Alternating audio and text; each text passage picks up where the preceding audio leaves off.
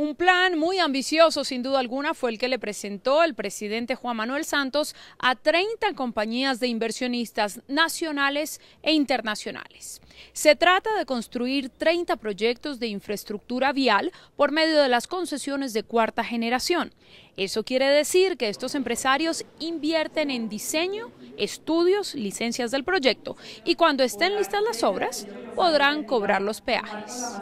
Las primeras seis concesiones saldrán a licitación en cuestión de tres meses, en diciembre de este año, y tienen un costo aproximado de 8 billones de pesos.